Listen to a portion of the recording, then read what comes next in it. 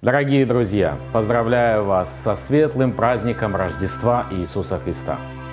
2020 лет назад Он появился на свет, и это ознаменовало рождение новой эпохи, новой эры. В это время каждый человек, который когда-либо соприкасался с Иисусом Христом, его жизнь менялась навсегда.